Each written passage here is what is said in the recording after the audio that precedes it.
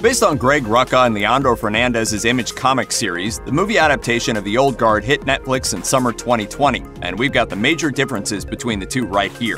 Fair warning to all you mortals spoilers ahead for both the comic and movie.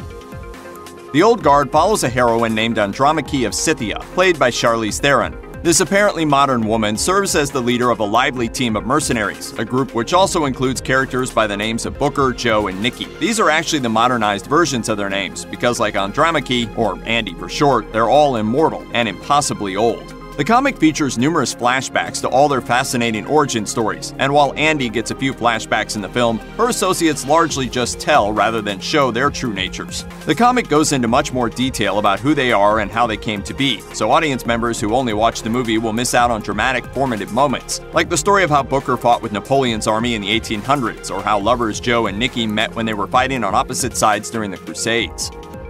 In the comics, Andy is the classic lone wolf action hero with a dark and violent past, lots of secrets, and a reluctance to let anyone get past her emotional barriers. She also does whatever she can to make herself feel alive, if only for a little while. The first issue opens with Andy walking away from a one night stand, not even wanting to know the guy's name on her way out the door.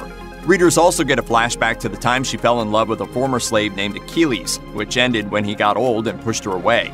In the film version, Andy's romantic life isn't explored at all. All her feelings seem to be totally wrapped up in her devotion to her de facto family of mercenaries. The Andy of the comics is more than just a sardonic gun for hire growing tired of death and rebirth. She resents and distrusts the modern world, believing that people have grown worse over the centuries. She thinks technology provides a means to make cruelty faster and more efficient. The movie version of Andy also thinks that humanity is on a downward trajectory. The world can burn for all I care but she doesn't seem to fear gadgets.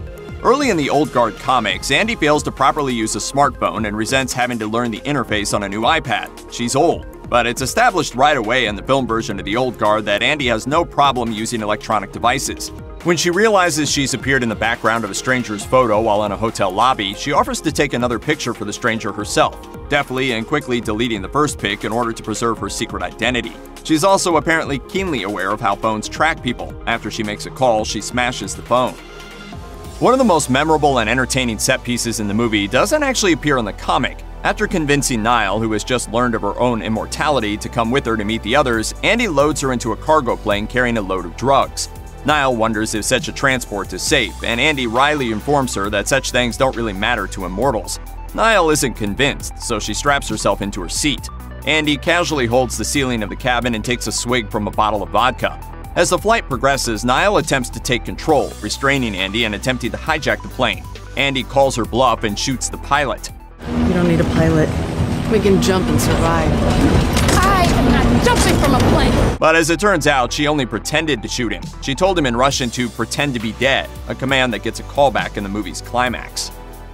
A lair is necessary for a good superhero. It's a place to relax, plan, and most importantly, be as far away as possible from enemies, snoops, and the general public. So obviously, the Old Guard has one. And the differences between the comics and movies headquarters also reflect the differences between the comic and movie versions of Andy's character.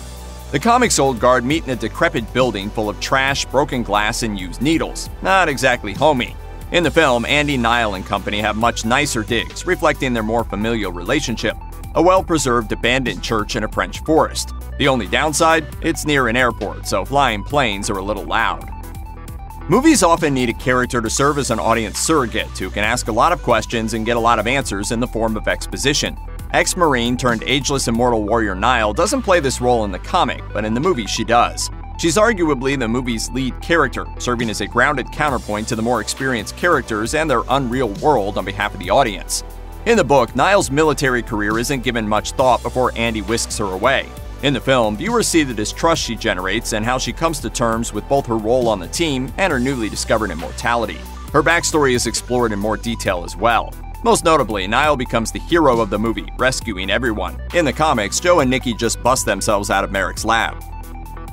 In the movie, before she found her current squad of immortals, Andy met another immortal named Quynh. A flashback sequence depicts them fighting alongside one another and developing a profound friendship. Just you and me. Until the end. They're eventually captured and accused of witchcraft. Upon surviving the deadly trial, they're deemed too powerful to be allowed to stay together. Andy looks on helplessly as authorities drag Quynh away, confine her to a metal coffin, and throw her into the ocean, where she spent the last few centuries drowning, dying, and coming back to life. Andy reveals that she spent a long time looking for Quynh but has never found her. Quynh is the reason Andy protects her teammates so ceaselessly. Quynh's fate ends up serving as an inspiration for the entire Old Guard, but only in the movie. Surprisingly, she's not a character in the comic at all. Check out one of our newest videos right here. Plus, even more Looper videos about your favorite action movies are coming soon. Subscribe to our YouTube channel and hit the bell so you don't miss a single one.